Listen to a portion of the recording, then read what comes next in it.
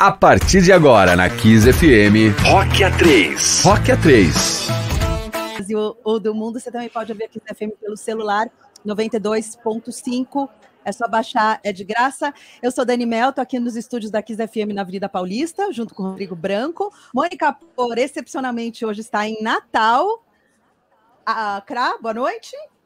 Oi, tá ouvindo? Estão me ouvindo? Tá aí? Sim. Um pouquinho longe, e os nossos, os nossos convidados, a gente vai saber já já onde é que estão. A gente também está ao vivo no YouTube da Kiss FM, né, Branconês? Como é que faz quem quiser ouvir a gente? youtube.com.br rádio Kiss FM oficial, já está rolando a live, aí você pode assistir também no Facebook da Kiss. Você pode mandar suas perguntas também, e você pode seguir a gente no nosso Instagram, arroba Rock3, tudo junto por extenso. É, vamos começar então, vamos apresentar?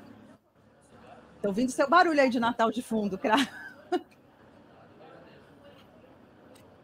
Tá ouvindo, Apor? Agora estou. Então vou fazer a apresentação daqui, tá? Você quer continuar daí? Você tá ouvindo a gente? Acho que tá rolando um delay, melhor você vai fazer eu vou fazer... Eu tô ouvindo super baixo. Pode fazer que eu, que eu você acompanho. Tá ouvindo baixo e... É, eu tô ouvindo o fundo da rua aí. Vamos lá. Vou tentar resumir aqui, porque é muita coisa. A gente está muito feliz que deu certo, que eles estão aqui com a gente. Ele é ator, cantor, compositor, gato, guitarrista, artista plástico, fez vários personagens marcantes no teatro e na TV, como o Gael em Outro Lado do Paraíso, na Rede Globo, o Candinho de Eta Muito Bom, João Gibão de Saramandaia, Chiclete, matador de aluguel romântico de A Dona do Pedaço, e atualmente ele pode ser visto na segunda temporada de Verdades Secretas como Ariel na Globoplay. Desde 2001 ele é guitarrista e vocalista da banda Tio Che, mas esse ano ele decidiu trilhar novos caminhos e está lançando seu primeiro, primeiro trabalho solo, composto por oito músicas, intitulado A Deriva. Um projeto lindo, com lindas homenagens e referências, que, segundo ele, abriu seu coração para novas experiências, de transformar poesias em experimentos musicais. Apesar do sucesso de ser galã, ele é totalmente na dele, totalmente anti-estrela. A gente sabe que ele já teve aqui. Ele não vive a vida de protagonista da novela das oito. E ele contou, sabe como a arte ajudou a passar por esse momento de isolamento social e incertezas? Como? Pintando quadros, praticando violão e guitarra, lendo vários romances e livros sobre religiões e praticando francês, tá, meu bem? Ele teve aqui, como eu falei, há exatos dois, exatos dois anos, exatos, vocês, vocês sabiam disso? Faz, foi 20 de dezembro de 2019. E agora ele está voltando muito bem acompanhado da sua esposa, gatíssima também, uma baita atriz, muito querida, que também já fez muitos papéis em novelas de vilãs e mocinhas sofredoras, como a inesquecível Clara, em Outro Lado do Paraíso. Quem não se lembra do bordão? Você não imagina o prazer que é estar de volta. Atualmente ela está escalada para a segunda temporada de Cine Hollywood, que vai ser produzida agora em 2022. Eles começaram a namorar em 2017 Estão juntos também no teatro, na peça O Homem que Matou Liberty Valance, dirigida pelo querido Mário Bortolotto, com a promessa de estrear presencialmente no ano que vem. Diz a lenda que em setembro de 2018, após um ano juntos, eles se casaram em segredo, uma cerimônia secreta na Amazônia. Por enquanto, tem alguns filhos que são apenas seus cachorros Gustavo, Chicão e África, moram numa chácara em Dayatuba, nossa, tô falando muito. E lá eles fazem meditação e, me e mexem na horta. Sejam muito bem-vindos, casal. Bianca Bin, Sérgio Guizé. Aê! Vocês Boa não noite, imaginam o prazer em receber vocês aqui.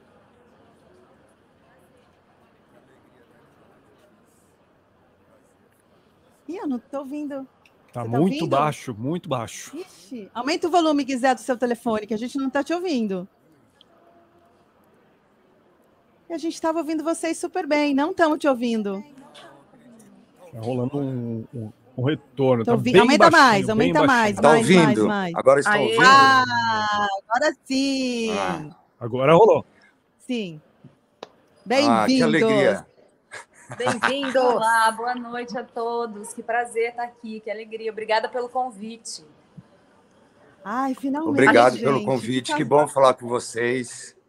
Olha, a gente não se casou ainda, viu? A única dessas informações que, que, que não bateu é essa que a gente casou em segredo na Amazônia. Pois nunca é. fui para a Amazônia. Falaram que a gente, gente casou pelado lá numa, num ritual de ayahuasca. Eu achei ideia o máximo. Mas a gente nunca foi para lá, a gente nunca pisou lá, a gente não casou ainda. Essa Vamos... é fake news. Essa é fake news. O resto tá certo. Gente, mas é uma fake news legal, pelo menos, essa, né? Tem cada fake news louca, tosca, né? Essa, pelo menos, é, é, é, é boa. né? Essa é, ino é, é inofensiva, não faz mal a Exato. ninguém, é só uma mentirinha. É, que todo mundo Gente, acredita. Mas eu fiquei pensando, nossa, armar um casamento aí lá na Amazônia.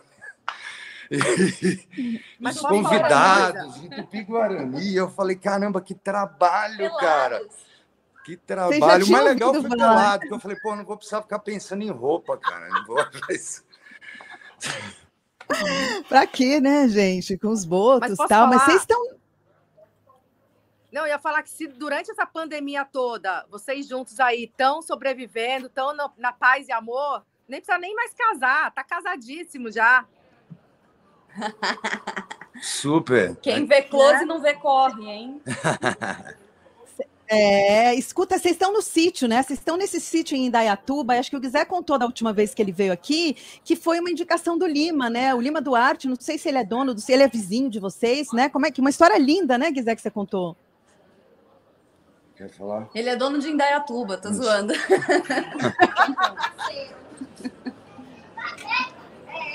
Ah, o, na verdade, a gente estava fazendo a novela O Outro Lado do Paraíso, e, e aí a gente começou a namorar e não sabia. Eu tinha uma casa no Bexiga, um apartamento no Bexiga, e ela na Barra, da Barra da Tijuca, no Rio de Janeiro. Então a gente não sabia para onde ir. Na verdade, o Lima morava aqui. Eu conheci em Dayatuba, porque eu vim no aniversário do Lima, uns 10 anos atrás. E ela levantou essa bola. E aí a gente ficou, porque também os pais dela moram no interior. Os meus pais eu trouxe para cá também durante a pandemia, né? Para ficar mais perto deles também. É um lugar super tranquilo, assim. É uma chácara. É, e o Lima mora na chácara, mora no condomínio no, da frente. No condomínio da frente. Gente, que lindo! Vocês se veem sempre? Ah, geralmente aos domingos. É. Ah, aos, então, mas é, o Lima veio gravar aqui também no meu micro estúdio, veio gravar um filme sobre é, o Ari Barroso. É, ele fez a locução toda do filme aqui. É, e eu tô sempre, a gente está sempre lá vendo alguma coisa, dividindo alguma coisa, né? Ele está sempre produzindo muito, né? Eu também, enfim, fala sempre quando a gente se encontra é muito bacana falar dos trabalhos e tal. Ele está em Aruanas 2 agora, no primeiro episódio de Aruanas 2. Tá super feliz e o trabalho dele como como ator, assim, como artista em geral, tá cada vez mais pulsante, mais firme, sabe? É um cara que eu admiro muito. Ai, que incrível, com certeza deve ser recíproco, né? Agora, essa pandemia, Guizé, Branco, comenta um pouquinho para mim o retorno do terror. Essa pandemia, você gravou a deriva, a história é super bacana, né? Do, do, do A Deriva, né? O, a história surgiu com o Bortoloto, na verdade. Nossa, tem barulho de fundo aqui. Muito. Acho que é da Mônica. Cra, Cra, não tem como ir para um lugar mais fechado, Cra? Muito barulho de rua aí. Pode fechar o Tem muito barulho de rua tá aí onde você está. Fecha o seu microfone um pouquinho, Cra. Você não tem como mutar ela aí, Branks, na mesa? Não. Aí é com, com o Nelito. Melito, tenta mutar o Fala, microfone Cra. da Mônica um pouquinho aqui. Tenta mutar seu microfone aí, Cra, que tá muito barulho de fundo. E... Tem muito barulho de fundo. Ah, melhorou bem. Melhorou Mas Guizé, ainda nos. Guizé, Estamos ouvindo, Guizé? Guizé? Estou te ouvindo, estou ouvindo vocês. Ah, ah melhorou muito, melhorou muito. Então tá, vamos falar sobre o, sobre o A Deriva, que você compôs agora na pandemia, que pelo que eu entendi foi uma, uma ideia do Bortoloto, né? Que nosso querido Bukowski brasileiro, Mário Bortoloto, como é que foi a ideia do, do disco? Você continua no Tilt ainda, né? É, eu continuo no Tilt. no começo de março, né, da pandemia e tal, eu tava com, com vários shows com o Tio Tchê, ia começar a gravar é, o Mal Secreto do Globoplay, então tava tudo esquematizado e descemos do navio que estávamos participando de um festival com, com Capital Inicial, Roupa Nova, Skank, J Quest, foi muito, foi incrível assim. Mas descemos, parou tudo, parou série e, e, e foi meio desesperador assim, né? Não sabia se, se ia voltar, o que que era. Aí começamos a perder os amigos e e aí eu lembro que eu mandei mensagens, a gente ia trocando mensagens com alguns amigos assim, né? O finado Secato, Carcará, Fueldo, né? E aí, o Batata, como é que vocês estão fazendo? Muitos trabalhavam como técnicos, né, do teatro, iluminadores, né, e família. Então, trocando mensagem. Aí eu, o Mário, pensei, poxa, o Mário, sem teatro, sem bar, deve estar, tá, porra, pesado para ele, assim. E, e aí eu mandei uma mensagem, eu falei, e aí, Mário, como é que você tá? E ele mandou assim, bom, vou segurando o filme o leme para não ficar à deriva. E isso foi em março, né? Bem durante a pandemia, o começo da pandemia. E aí eu escrevi uma música em cima, A Deriva, que eu fui mandando para várias pessoas, é, pessoal da banda, inclusive, mas a gente não conseguia se encontrar. Eu, eu realmente me isolei, assim. É, a não ser quando eu comecei a trabalhar com os testes e tal, fiz mil testes já de Covid por conta do trabalho, mas é, e aí nunca deu nada, ainda bem. E, e mas assim, com a banda não rolou, não ia rolar o disco com a banda, aí eu fui mandando o Jorge Zulimbitar, ele ele falou, poxa, eu queria gravar alguma coisa com você e tal. Eu mandei a Deriva. Ele não se interessou muito por a Deriva e gravou Mochileiro, que foi o single. E depois ele ficou o projeto de criar o disco, né, a Deriva, e eles vieram para cá junto com o Renato Zambuja, que é o percussionista e também autor de, de, de, uma música que é Desligar, da primeira parte do disco, que são dez músicas, na verdade, não são oito. Ah, não são oito, junto... segunda informação. É. É, agora eu lancei cinco, né? Foram cinco lançadas dia 23 de novembro, e agora, dia 30 de dezembro serão, serão lançadas mais cinco músicas. Aí eu fecho o projeto A Deriva. O sonho era é, é poder lançar as 10, assim, um disco, né, um LP e tal. Mas como já um ano e um monte de autorização que eu precisava, eu fiz umas versões no, nos Cartola, discos, né? no disco. É, Cartola, Cartola Sérgio Gainsbourg, é, que legal, secos e molhados. Secos e molhados, que foi sangue latino. É, Amor, Amor para Toda a Vida, que é do Marcos Araújo, que é uma versão nossa aqui também. Do, é, a Palo Seco foi da primeira parte. Ah. Agora, da segunda, tem Grão da Mesma Moda, do Sérgio Goldinho. E, enfim, o projeto também, eu contei com a ajuda do meu compadre André Gisven, do Tio Tchê, que é o baixista desse projeto, o Juninho Fernandes, que é da Surf Session, o Paulo Veríssimo, de Distintos Filhos, lá de Brasília, tem participação do Kiko Pérez também, que é do Nat Roots, a Juanita também, que é backing vocal Participa de lá e, do e tem, Nat Roots. E tem, participa tem participação de uma tal de Bianca Bin também, eu ouvi dizer, que ela foi sua parceira aí em algumas, em algumas músicas. Confere? Ele é muito generoso, viu? Porque a gente fala uma palavrinha ou outra e fala, compôs comigo. Não, a ideia já estava toda pronta e a gente veio ajudando ele a lapidar isso. mas eu tenho muito orgulho ah, mas, dele o, divulgar dessa forma. Ô, Bianca, mas a gente viu que, que, que várias, várias, eh, várias, na pesquisa que a gente faz para o programa, muitas vezes ele cita você, ele fala que você ajudou ele bastante, não só a compor a música, você deu uma força para ele em, em, em, todos os sentidos, né? A Mônica perguntou aqui como é, é que vocês selecionaram gente... o repertório também, que ela tá muda aqui, ela não, não o som dela tá ruim. Judiação. tá mandando mensagem de texto. É, ela mostrou assim. Bom. É porque. Diga, diga o repertório é o que a gente ouve em casa, assim, que a gente está acostumado a ouvir. Guizé me apresenta muita coisa boa, muita novidade. Ele é um cara que gosta de descobrir novidades. Eu fico mais nas minhas playlists antigas, mas ele ama descobrir uma novidade. É, e eram quais, Bianca? Que, quais eram quais eram quais eram suas playlists antigas, Bianca? O que, que você ah, gosta de ouvir? De tudo. Que que eu sou muito eclética, ó, do hip hop ao samba. Olha, eu curto tudo, assim. De rock, você curte alguma. Ai, que legal. E rock, assim, você conheceu alguma coisa mais profunda ou o Guizé que foi te apresentando? Rock, eu tô apaixonada por Ojeriza, pelos Inocentes, que agora eu vou em todo show dos Inocentes, gente. Virei fã dos caras, tô virando fã de rock. Vocês foram no Estúdio SP agora, na sexta? Fomos, a gente tava, meu, tem show dos Inocentes, você cola que vai encontrar a gente, se você quiser. É, que legal. A gente, a gente foi no Rio também, no, lá na, no teatro do CCBB, e eu, poxa, eu gosto desde muito pequeno, né? Não dos Inocentes, mas também do, do punk rock ali, é, é, 77, que na verdade é 81, essas bandas são de 81, né? Assim como Ratos, o, o Cólera e tal. E, e é mó barato poder ver os caras agora, assim, nessa, nessa reabertura. Eu confesso que eu estava ruim, eu fiquei doente, assim, mas eu falei pro médico, eu falei, cara, eu preciso ir ver o show dos caras no, lá na Augusta e tal. Ele falou, de quem que é?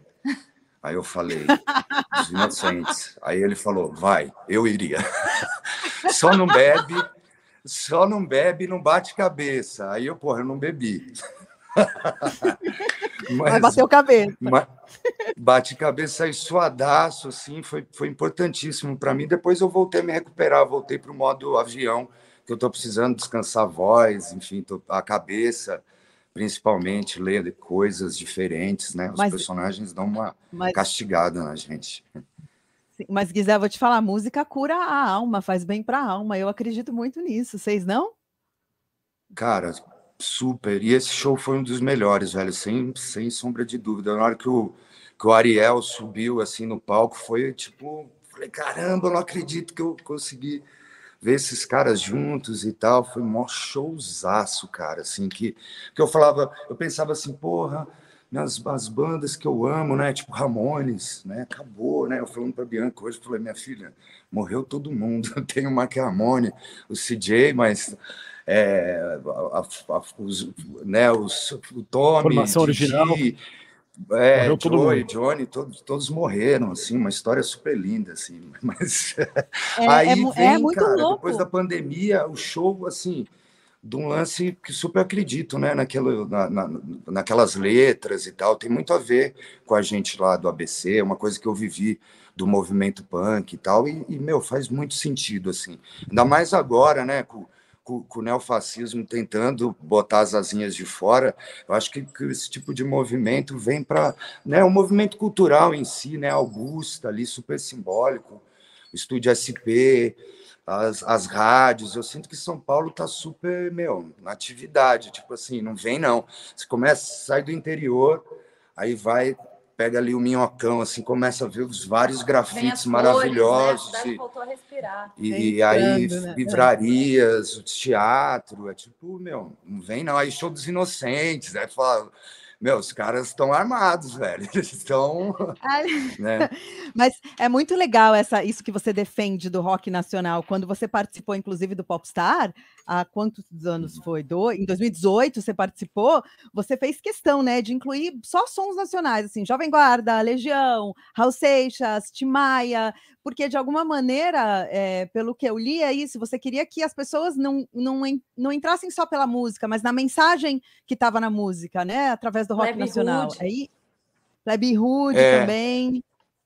A gente começou é isso, com, com Admirável Gado Novo, foi a primeira música. Eu fiz questão Zé que fosse Ramalho. essa primeira música. É, e foi muito legal, assim, a gente não esperava nada, na verdade. Eu, é, é é, a gente queria se divertir, eu queria que os meninos da banda estivessem, eles me convidaram e eu falei, poxa, não faz sentido se não for com eles. E essa ideia de, de fazer uma homenagem a esses artistas brasileiros, né? Também Reginaldo Rossi, Titãs, que tinham a ver com a banda, músicas que a gente tocava, mas a gente não queria. É, é, é, é queria ser leal a esse repertório assim, né, de artistas que a gente admirava, que, que a letra fazia sentido para a gente e tal, e foi foi incrível. Fizemos até uma versão do Zeca Pagodinho.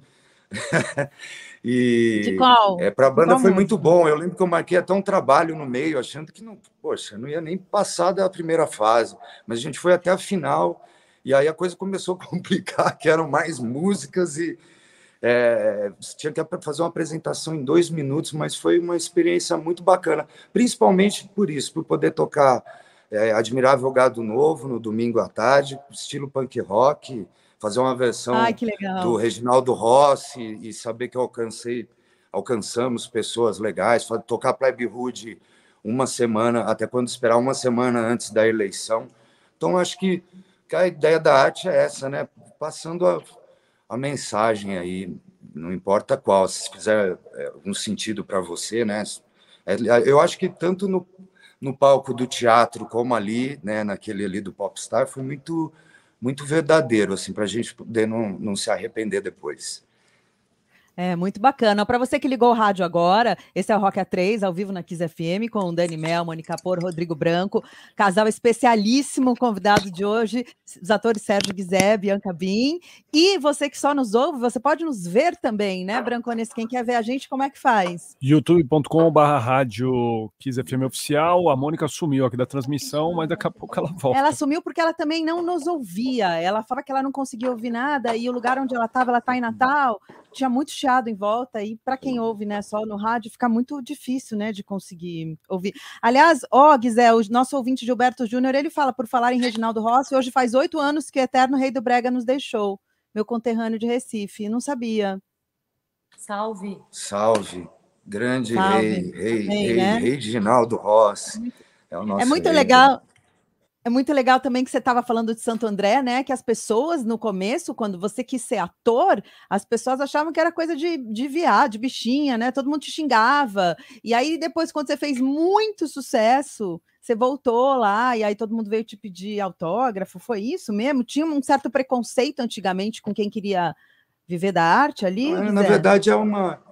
É, essa turma, a turma do, do que, que hoje saiu do esgoto, mas ela já existia em um lugar para super Sim. industrial, não que Santo André, é, porque tinha muita coisa legal. Inclusive, eu comecei a fazer teatro lá na Escola Livre de Santo André, que foi um projeto do Celso Daniel, que abriu um mundo para mim, assim, né? Foi Santo André que me propôs isso. Até o primeiro trabalho que eu fiz na Rede Globo, eu estava fazendo uma peça lá no Constituto de Moraes, em Santo André, Crime e Castigo, do Dostoiévski, e me chamaram para fazer o primeiro trabalho lá em, em 2004.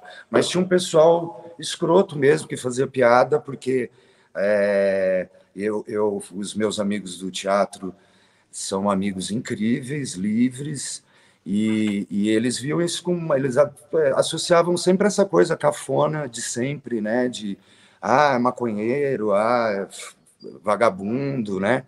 E falavam, já cheguei a ouvir uma história de que falava, poxa, a Cleide coloca o Celso para ir trabalhar, para ele ficar com esses vagabundo, maconheiro aí do teatro, onde já se viu, vai fazer artes plásticas, você está louco. Mas depois, logo depois, eu voltei é, é, é, fazendo um trabalho assim, que na época bastante gente assistia a Rede Globo, não tinha tanta internet, era um personagem que não que, que, que, que para mim ali no momento eu falei, nossa, cara, eu fiz tantos personagens no teatro, ninguém foi ver. E agora que essa loucura, eu falei, não vou tirar foto com ninguém não, cara, não vem com essa não. Porque também tinha uma coisa essa de, de gostar dessas bandas, né, de ter feito, a primeira peça profissional que eu fiz foi Existe, existe alguém mais punk do que eu, do Antônio Bivar, a ópera punk. Então eu fiquei, eu imagina assim, vivi ali no lance do movimento punk e comecei a fazer novela na Rede Globo, assim. Eu tinha uma banda, o Titi era mais punk do que é hoje, né? Eu tocava antes no Motim Punk.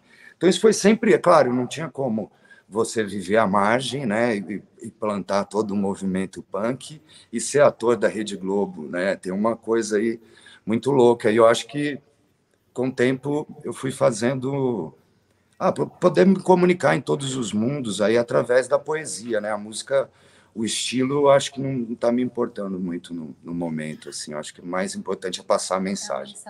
Sim, eu quero saber já já do seu. Caramba! É, eu quero falar com a Bianca agora. Nada, é, cara. Fala bem. Vamos, vamos, eu quero falar com a Bianca. Nada, agora. ela olha só para mim assim. Eu queria arrumar esse cabelo.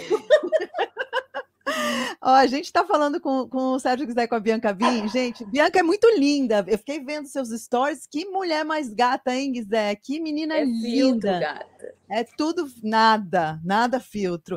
E uma e excelente atriz. Eu queria que você contasse, o Guizé estava contando dele, né, Bianca, de Santo André, de como ele começou a ser ator. Como é que foi a sua história como atriz? Você sempre quis ser atriz? Como é que apareceu na sua vida a atuação? Eu comecei a fazer teatro aos 12 anos de idade, no colégio, num curso livre, por conta de timidez. A amiga foi fazer e chamou. E aí me apaixonei aos 16, consegui me mudar para São Paulo para estudar no Teatro Escola Célia Helena. E aos 18 eu já estava no Rio de Janeiro, fazendo oficina de atores da TV Globo. E aí emendei em Malhação e não parei mais. Foi uma novela atrás da outra. Até agora, né? Gente. né? Agora eu estou conseguindo fazer um pouquinho de cinema, teatro. Fiz um filme com o Guizé, chamado Amante de Júlia, que provavelmente vai ser lançado no ano que vem, com direção do Vinícius Coimbra. É um elenco Demais. muito legal. Além do teatro, agora também, que sempre foi o meu sonho, né? A gente ainda não teve o prazer de estrear presencialmente, mas eu tenho certeza que isso vai acontecer no ano que vem, que a peça é incrível e a gente tem esse recado muito importante para passar. É, foi legal assim apresentar ela para o pessoal lá do cemitério de automóveis e o Mário e tal. Parecia que ela tinha levado o namorado para conhecer os amigos do teatro, assim, porque no terceiro dia tinha que falar para ela parar de aterrorizar junto com o Carcará, assim, pegou fogo. Você conhece o Carcará, né? Conheço, conheço o Carcará, conheço Então, ela é a Carcaroa, ela é a Carcaroa. Eles falaram, a Bianca tá virando o Guizé. Não, pior, a Bianca tá virando o Carcará, é muito pior. Fala que ela não, roubou é... minha alma, porque acabava o ensaio e eu ia dormir, assim, que eu já não estava aguentando mais nada. Mas escuta, e vocês têm essa conexão? Vocês se conheceram de fato nos bastidores da, da novela? A gente fez uma novela antes da, do outro lado do paraíso, que foi Eta Mundo Bom, e depois a gente se reencontrou em O Outro Lado do Paraíso, e ali começou a nossa história de amor, que está vindo durando até hoje. Estamos aqui. Que combinou, que combinou com casamento pelados na Amazônia, né? Lá no, Combinou, no... cara. Eu queria. Eu, queria eu achei meio preconceituoso isso. do cara que fez, sabe? Assim, eu achei ele meio tipo assim, ah, eles são meio bicho grilo. Vamos colocar isso aí e tal.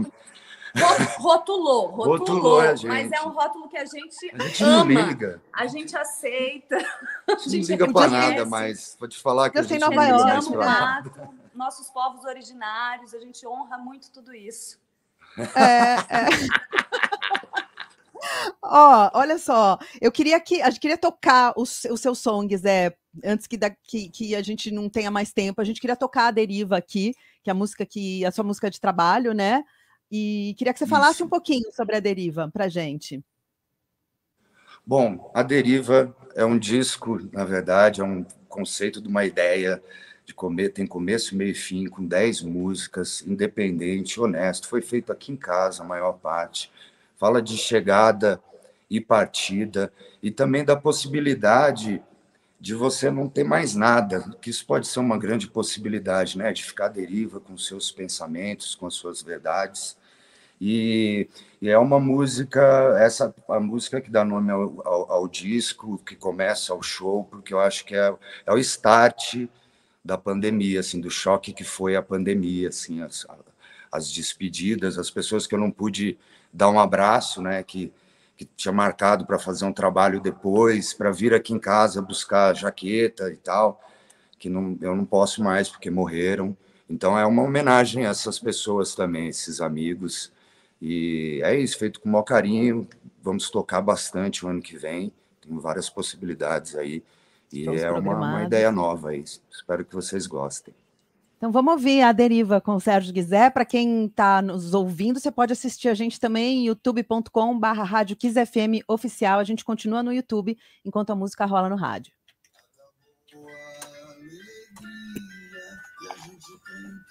É linda essa música. Vocês ah, ouvem a gente ainda? Sim. Estamos aqui, estamos aqui. Obrigado pela oportunidade. Imagina, tem que tocar. Eu achei linda. É meio folk, né? É. É, fomos de coração aberto. Aí os, os caras vieram aqui, meu. Ficaram dez dias. Aí põe gaita, lógico. Põe sanfona, põe. Põe back feminino, põe. foi tudo muito livre, assim, eu acho que acabou criando uma, uma cara, assim, né? Eu que venho de, de, guitarra, baixo e bateria, né? Era sempre muito difícil colocar as coisas, mas eu, cara, eu achei demais, assim, poder contar uma história mesmo, né? Valorizar a palavra, música. e a Bianca não quis cantar, gente? A Bianca não quis cantar um pouquinho? Bianca não canta? Tem a voz bonita. Adoraria, adoraria, mas esse dom esse talento Deus não me deu. Quem quiser, insiste para cantar um pouquinho. Não rola, cara. Não ela rola. é uma inspiração, a Bianca é inspiração. Eu, na, é. na pandemia, ela começou a tocar violão, estava tocando super bem, mas aí a inspiração foi embora. É prática, né? O violão, qualquer é instrumento é o exercício, né? É o dia a dia mesmo. Você não pode Sim. deixar de lado tem que praticar todo dia. E eu, cara, eu não consigo seguir uma dieta, nada assim, sabe? Não, eu sou meio fraca para. Pra... É, é, Olha, meu, é meu sonho aprender a tocar um instrumento, aprender a cantar. Vamos ver se nessa vida ainda. Que legal. Ó, a Fanny, nossa querida Fanny, tá falando que ela e o Marcel, os dois super queridos aqui do Autoral Brasil, assistiram no último sábado a peça O Homem que Matou Liberty Valance e foi sensacional. Oba! Eles foram, que massa! É, eles são é, demais, é, cara. Eles são demais, eles são muito queridos, assim. E aí eles foram, né, no show. Acho que a Fanny não foi, o Marcel foi no show do Inocentes, né? Marcel foi. Marcel foi. Quase a gente fui. deu uma a gente deu uma extravasada lá. No... Como eu te disse, a hora quando quando o Ariel subiu ali, foi para mim foi um acontecimento assim, cara. Porque a última vez que eu vi ele foi um clipe de 20 anos atrás. Então, quando eu vi ele, né, assim, é, é, com aquela força toda, né, assim, mas parece que é, é, é muito doido, é ver mesmo o movimento ativo, né, assim, do jeito que que movimenta tudo e liga um show com o outro. Eu estava vendo um, um, filme assim. E o é Marcel bom, entrou né? também nessa. A gente quebrou tudo lá. A gente se divertiu muito. A Bianca também. Bom. É muita coisa que está dentro, né? Tá presa assim. Aí quando vai, vai com força, né? É, ali foi o lugar certo, assim. foi muito legal. É, podíamos ter ido, né? A gente. Acho, quanto tempo temos, Branconês? 30 segundos. A gente tem 30 segundos, a gente vai voltar para o ar, tá, gente? Tá bom. Vamos.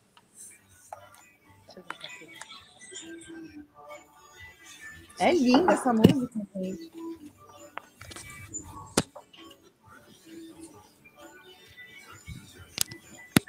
É essa caixinha aqui. Mas eu troquei. Vai dar conta.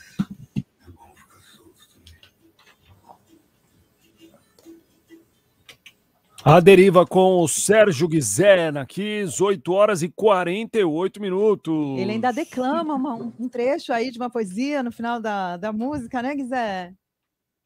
É, o disco tem bastante poesia, assim, até os, as versões que fizemos desses artistas, elas têm bastante poesia. Tem uma coisa que eu queria te perguntar, acho que no, no Popstar, como foi, foi a história com a Fernanda Abreu? Ela perguntou se a sua voz era rouca assim, ou se o que, que você fazia para deixar a voz rouca, e você foi, falou que ela foi estragando naturalmente, que a sua voz era bem mais fina. É isso mesmo? É. É, a noite, a noite deu uma estragada nela. A noite dá uma estragadinha nela, a, né? O punk rock também do tio Tchê, a gritaria, às vezes do teatro, porque eu lembro que eu gravei uma música, é, Como é Bom Ser Livre, em 2005, depois eu gravei ela de novo em 2010, o tom já era outro, ela foi mesmo estragando. Eu cuido agora, assim, mas antes era realmente. Cuida rock. como, Guizé? Você cuida como? Cara, eu. Ah, tem muita coisa que eu não faço mais. Eu vou dormir às nove da noite, por exemplo. Acordo às cinco e meia da manhã e sua voz acorda dando bom dia para você. Toma um suco verde. Toma um suco verde e tal. Aquece antes de é, espetáculo. Né? Tem umas coisas, você vai mudando o tempo das coisas, a importância também do que, que é. Às vezes é aquela coisa, pulsão do foda-se. É, não, não, irmão amanhã você tem outro trabalho. Às vezes hidratar já faz toda a diferença. É, então tem é. bastante isso. Assim. Que legal. Você que ligou o rádio agora, Rock A3 aqui na Kiss FM ao vivo com Dani Mel, Rodrigo Branco, nossos convidados, Mônica Por, que não está mais aqui, que está lá em Natal, nossos convidados Sérgio Guizé, Bianca Bin, ao vivo também. Eu queria mandar um beijo enorme para toda a galera da WA Sport. Eles me mandaram essa camiseta linda, não sei se dá para ver, do Iron Maiden. Um beijo enorme para Fernanda, aliás e dizer que se você ainda não comprou um presente de Natal, aproveita, porque eles são a loja oficial dos produtos do Iron Maiden aqui no Brasil. Fica no primeiro andar da Galeria do Rock, aqui em São Paulo. Loja 223 está funcionando das 10 da manhã às 6 da tarde. Na véspera de Natal vai estar aberta até às 5 da manhã. Essa daqui é Fear of the Dark, de 92. Quiser, a Fernanda falou que se você ama Iron Maiden, ela vai te mandar. Ó. Eu vou até levantar. Pra... Não sei se dá para ver. Olha, linda. Amo. Fui no show no Rock in Rio tinha um caderno com a, com a capa que eu fiz do Iron Maiden. O Ed era. Como assim? Ah, eu, eu, meus cadernos da, do colégio eram todos encapados, um era Iron Maiden, aí tinha um que era mistura de Black Sabbath com The Doors, com Jimi Hendrix. Ramones. Ah, que legal! É. Muito legal. E essas camisas são oficiais, parecem camisas de jogador de futebol. E aí ela me mandou hoje para a gente inclusive queria fazer uma promoção para os nossos ouvintes do Rock A3, mas como o nosso hoje é o último ao vivo, a gente entra de férias e vai reprisar. Eu falei: "Me manda que eu mostro no ar". Aí ela falou: "Com certeza o Guizé vai querer uma". Eu falei: "Com certeza ele vai querer uma". E aí vocês mandam para ele, vai mandar. Ó aí, Fê, promessa é dívida. Daniel, cinco minutos para a gente encerrar.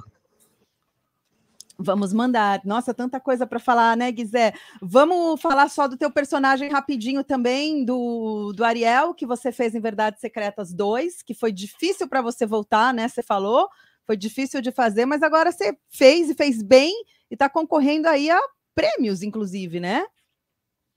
É, estão aparecendo, eu fiquei muito feliz, porque é, fiquei lá seis meses no Rio de Janeiro.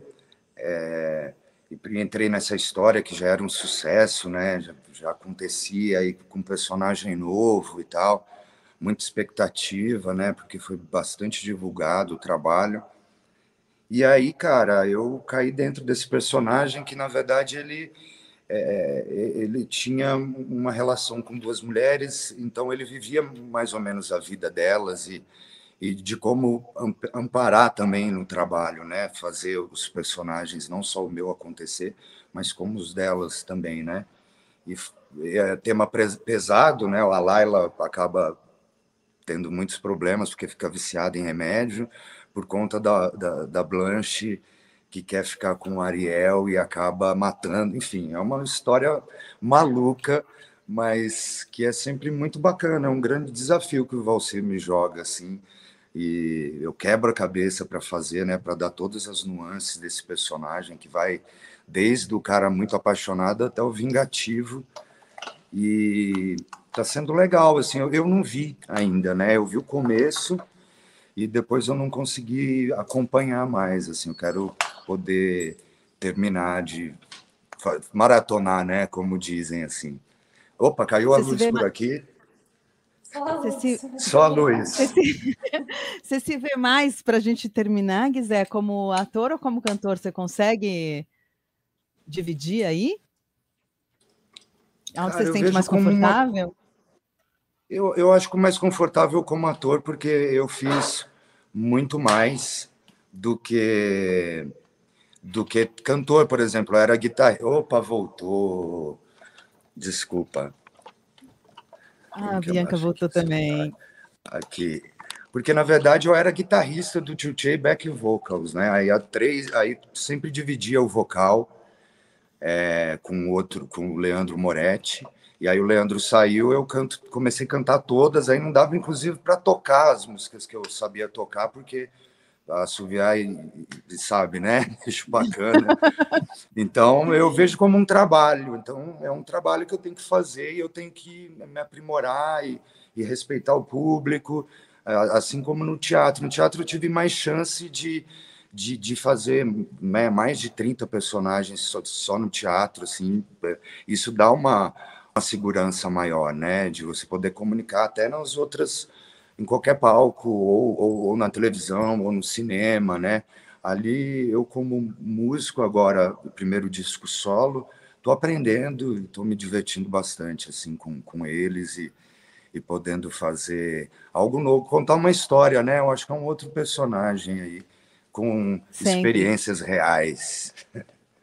E quiser, quem quiser baixar, quem quiser ouvir as músicas do Aderiva, como é que faz? É, como é que faz para baixar? Como é que faz para ouvir? Onde que elas estão disponíveis? Nas plataformas, todas as plataformas digitais? É isso, a Deriva, cinco primeiras músicas estão disponíveis em todas as plataformas digitais, Spotify, Deezer, YouTube, Google Play, Apple Music, Amazon MP3. E, e dia 30 Agora, dia 30 de dezembro, para fechar bem, vamos lançar mais cinco músicas: Sangue Latino, Grão da Mesma Mó, Amor para Toda a Vida, Peito Vazio e Je suis venu te dire que je m'en vais, do Sérgio Gainsbourg. Que, Gente! É, eu venho te dizer que vou embora que eu acho que tem a ver para poder fechar essa história e tocar então, muito. Então vamos fechar. De janeiro a janeiro. Aproveitar para a gente ir embora, a gente vai precisar fechar, Guizé. Foi um prazer estar aqui com você mais uma vez. A gente continua no YouTube, tá? Guizé, Bianca, vocês ficam mais cinco minutinhos aqui para a gente se despedir do nosso público no YouTube? Tá com joia. E, gente, Fechou, eu queria então. agradecer muito vocês, dizer que o Rock A3 é o nosso último ao vivo do ano. A gente entra semana que vem com reprises. Agradecer aqui no ar muito a vocês, Guizé e Bianca. Sempre uma honra e um prazer estar com vocês. Beijo grande, viu? A gente que agradece. E a possibilidade também de estar fazendo isso de forma remota. A gente sabe o quanto é desafiador. Obrigada pela paciência. Obrigada a vocês, gente. gente. Valeu, Beijo. fechou. Valeu. Agora a gente tem cinco, senta na Voz do Brasil, né, Branco? Isso aqui a gente tem um Sim. programa maravilhoso agora, que é a Voz do Brasil. Deixa eu tirar aqui. Então, a gente, deixa eu só aqui Mandar um beijo para quem está aqui na nossa live, Caio Marco, a Valdirene Val, um beijo, Val, boas festas para você também, a Jean Lopes. O Augusto Silva quer saber qual colégio de Santo André você estudou. Quiser, o Pentágono? Não, eu estudei em escola pública, eu estudei no Joaquim Lúcio Cardoso Filho, Aí eu fui, me, fui convidado a me retirar e fui fazer o colégio lá no Amaral Wagner. Ó, o Maicon fala o seguinte: a deriva é uma música para ter no pendrive e escutar adoidado. Olha que legal. Olha que legal. É só isso que eu, que eu quero da minha vida. Que Compartilha com os amigos. É, escutar esse som aí que tem muito significado. Filho. Ah, compartilhem. É, é incrível, é super gostoso de ouvir. A gente sente que vocês fazem com o maior coração, né? Coração na Vamos ponta da chuteira, uma... com certeza. Vamos tentar fazer uma foto aqui para a gente fazer um print depois e poder postar? Podemos? Vamos, Branco? Tenta pegar o meu 3. Eu não estou vendo nada. Vai mais para trás que dá. Ah.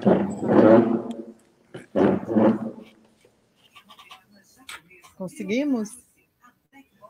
Aqui, aqui, deixa eu ver. Eu fiz uma aqui. Fez? Ah, peraí, vamos lá. Tá olhando, Brancos? Tô.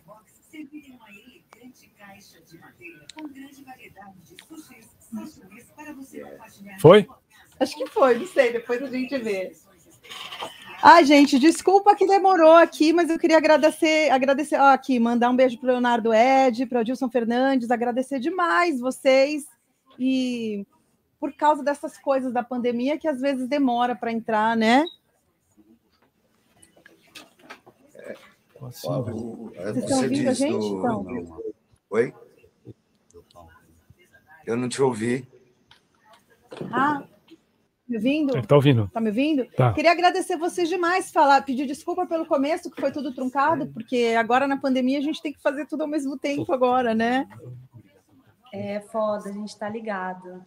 Obrigada pela é. paciência é. de vocês. A Imagina, caiu, na próxima. Voltou, não funcionou o microfone. É. Tem que ter paciência. Não, na próxima vocês vocês vêm presencial volta, aqui com a gente, vai ser tá incrível. Voltando, a gente marca um dia de no show dos Inocentes também, ah, mas na próxima vocês vêm aqui pessoalmente. Guizé veio ah, aqui da última certeza. vez. Você lembra, Guizé, que a gente foi te resgatar lá no cemitério de automóveis? Foi, foi. Foi incrível. Foi muito legal. A próxima eu não lembro o que, que eu fui divulgar aí. Eu lembro, eu não lembro o que foi. Enfim. Mas foi muito legal. Você veio há exatos dois anos. Eu acho que você tinha gravado um disco com o tio Tchê. Ah, é, Na o época. Sagrado, pode crer. É, foi isso. E a gente já falava desde aquela época para você voltar com a Bianca. Bom, vamos, né? a gente tem que encerrar aqui, porque vai entrar um programa maravilhoso chamado Voz do Brasil. Não, tem a transmissão ao vivo, durante a Voz do Brasil também, agora. É uma loucura, fico aqui perdido. Um beijo, gente. Valeu, gente. Obrigada, beijo. Viu? Beijo, Obrigada a todos bom. pelo espaço. Até mais. Até breve. Um beijo vocês. a todos, todos os nossos ouvintes que estão na live também. Beijo, gente. Beijo, Valeu. galera. Tchau, tchau. Tchau. Boa semana a todos.